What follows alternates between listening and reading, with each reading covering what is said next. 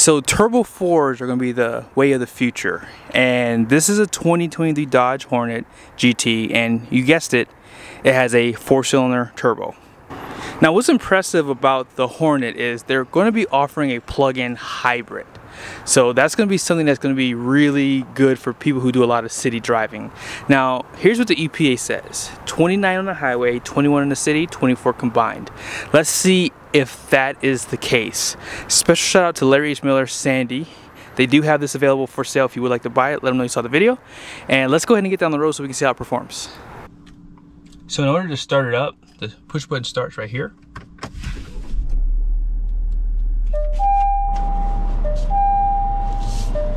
Very unique chime. So this is a manually operated seat. You can pump it up or pump it down. The bolstering on the seats are amazing. And let's see, telescoping steering wheel. Oh yes, there we go. So this is definitely for big people. I do have the seat all the way back. And man, they have some nice pedals down below too. This is this is a nice package. I don't know if you guys can see it, but this does slide for you short people. But let's go ahead and reset trip one and let's see what this thing can do on the highway. Now I don't know why manufacturers have to be so brand new, but there is a trip uh, setting in the screen for your center stack and your trip age right here so you just have to hold and reset let's go ahead and get down the road there's a bump up here that I want to hit with you guys so you can see me. This is a little sporty which means it's gonna be a little stiff. So you have MacPherson, struts up front independent front suspension and they have something a little different out back. Love the brake feel. Oh man so nice. So here we go. That's not too bad actually. Not too bad. If you're not going too fast, it's pretty good. But we're gonna go ahead and get down the road. I'm gonna show you guys the zero to 60 for this thing. This thing is pretty quick. And we're gonna find out how quick it is. So this is the way of the future. 268 horsepower, which is pretty impressive. And you ready for this? 295 pound-feet of torque. You guys ready? Here we go.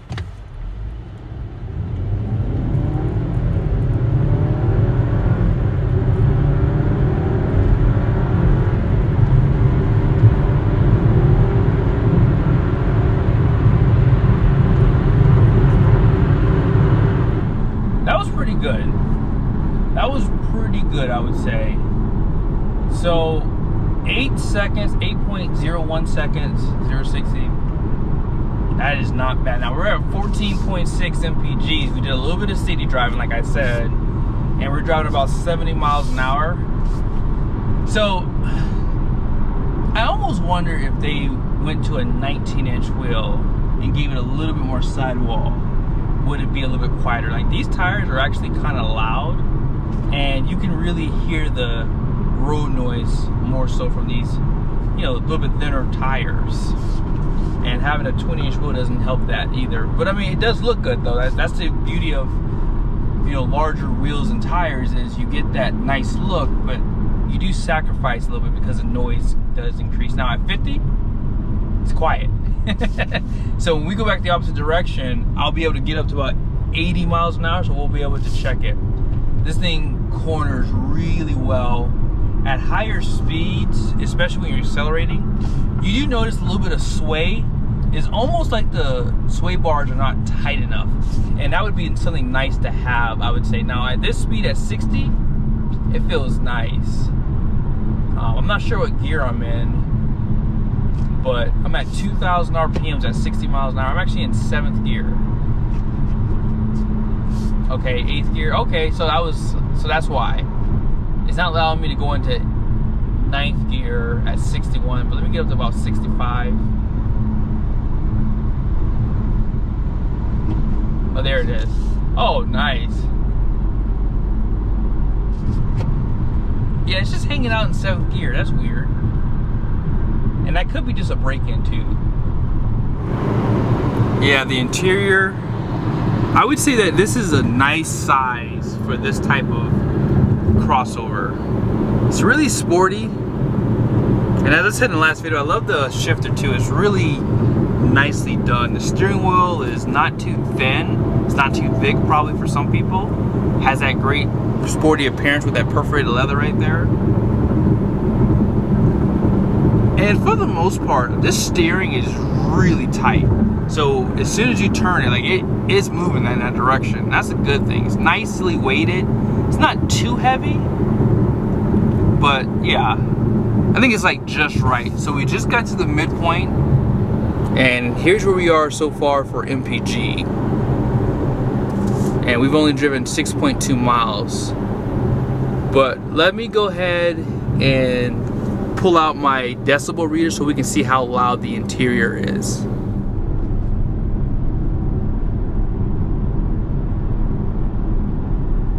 So about 64, 65, we get up to 65 miles an hour. Oh yeah, right there. Let's set the cruise. Okay. Hit bumps, it's like 71, 72. 68, 69 by the window. And then out back is like 65. So this is about what I noticed like in some of the pickup trucks. And I won't say that's a bad thing. But this is definitely louder. Like these tires, like if I were to get to like 70 miles an hour, for example,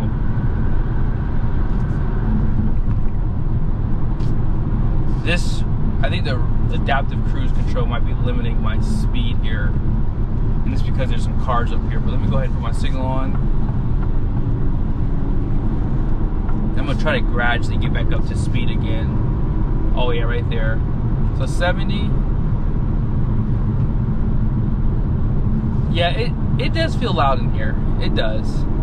I do like how it shows you the speed limit inside the gauge cluster for the road that you're on.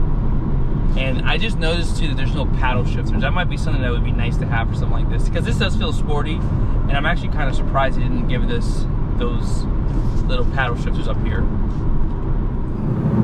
Here's some of your visibility out of the mirrors. I will say, this is not a big crossover, so visibility is not really a problem. Now out that back window, you can't really see, but check this out you go to my car, actually maybe that's not it. Let's go to controls. There it is. Watch this. Rear view camera. So if you can't see out the back, if you have like some adults sitting back there, you can use this to kind of check out behind you while you're driving. Man, the brakes feel so good. I'm really, really impressed by the overall performance. I think that Dodge, they've learned a lot within like the last decade. It's not about just straight line performance anymore. It's really about the overall package for them now. And I kind of can tell that they didn't just skimp through to try to make a new crossover SUV. They did something a little different here. And as I mentioned, the fit and finish, the brakes, everything about this thing feels pretty tight. The tires and wheels are loud, and I think that's what you can expect at these types of price points. And when you think about a $36,000 SUV, you're not gonna have the best sound deadening, you're not gonna have the best, you know, overall quality. So I do like this overall. That's the only negative I can say right now is that it doesn't have a lot of the qualities that I like to have in a vehicle. But, you know, the seats are really comfortable. They have the bolstering, and I really do feel like I'm driving a sports SUV. And here is the final stop for fuel economy. So 24 and a half MPGs. We averaged 45 miles an hour. We drove about 14 miles at 18 minutes.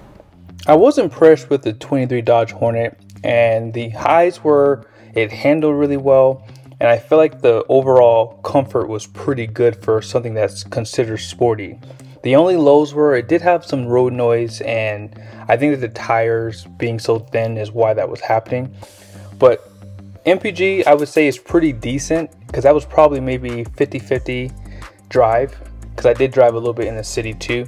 But apart from that, 13 and a half gallon tank means you can get about 330 miles on a tank. And here's some of the performance, which is probably in line with some of the other competitors. The only thing I think Dodge needs to do is to make this thing reliable. If they can have this thing get over 100,000 miles problem free, I think that this would be a really good competitor against Toyota and Honda. So hope you guys liked the video. Be sure to share your thoughts down below and I'll see you guys soon.